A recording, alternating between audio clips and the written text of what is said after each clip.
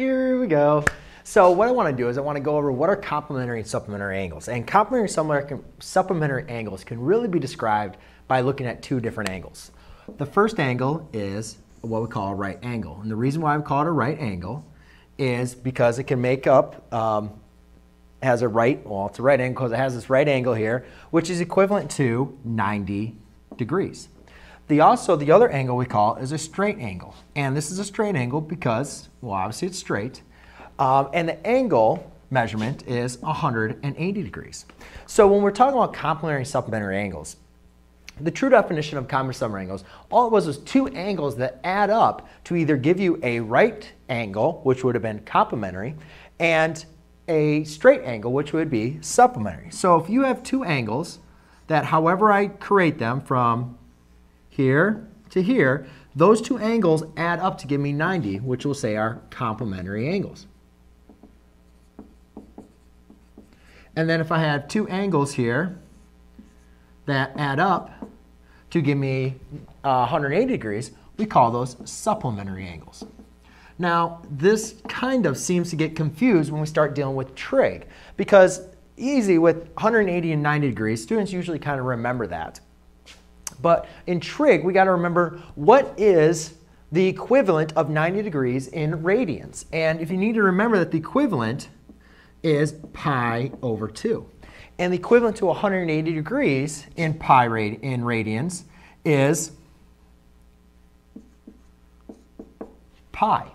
So when we look at supplementary and um, complementary angles, there's a couple equations that we want to write. What we know is, let's say here's an angle, and then here's our secondary angle. So I'll call one theta prime and one theta.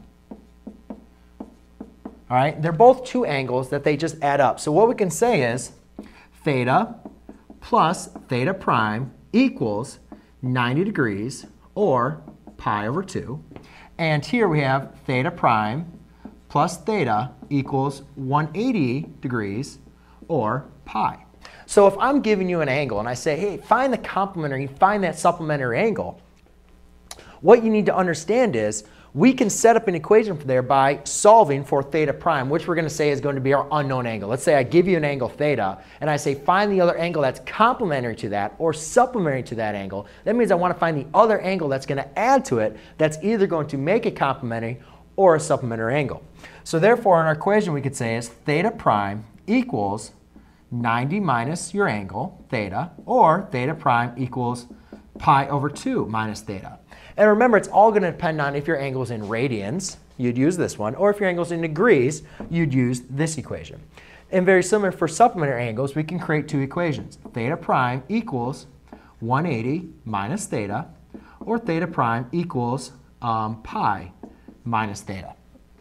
Now, there is one thing important to um, go through. If you have your initial angle theta is larger than 180 degrees or pi radians, you, there is no other supplementary angles. Remember, supplementary angles is the definition of two angles adding up to give you 180. So if you already have an angle that's larger than 180, there is no other supplementary angle to it. And the same thing goes for complementary. If you already have, if your angle theta is larger than 90 degrees, it does not have a complementary angle since it is already larger than 90. Um, we do not include negative angles um, in our definition of complementary and supplementary angles. So there you go, ladies and gentlemen. That is the definition of complementary and supplementary angles. Thanks.